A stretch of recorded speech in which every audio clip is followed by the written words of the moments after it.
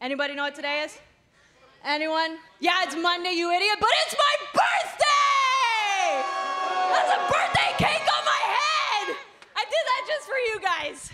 So we thought we'd make it a whole birthday celebration week, starting with obviously right here on Monday Night Raw. You're welcome. And then on Wednesday, we're gonna take a little trip over to NXT. And we are gonna whoop on Tegan Knox and Shotzi Blackheart. And then we'll take it back home to SmackDown and finish the week strong. I love the sound of that. But first, let me send a little message to the IIconics.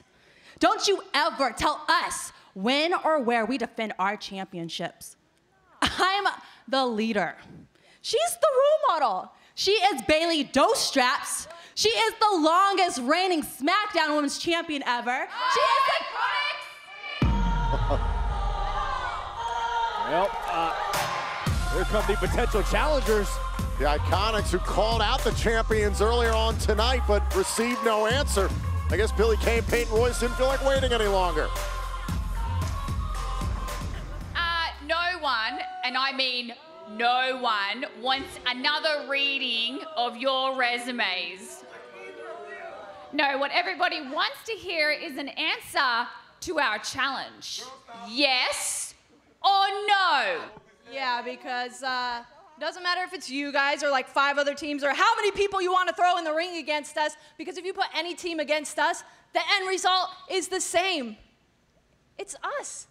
because we are the team. Well, you are the team that we beat for those titles at last year's WrestleMania. Yeah, and it was a loss that was so crushing. You each had your own separate meltdowns. Oh, will somebody call the ambulance? Hello, ambulance. Hello, it's us, Sasha and Bayley.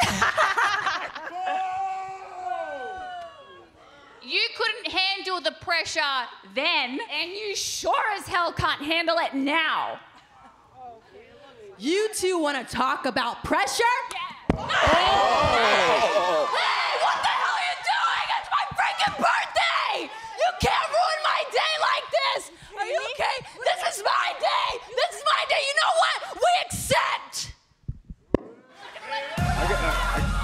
Happen, I guess.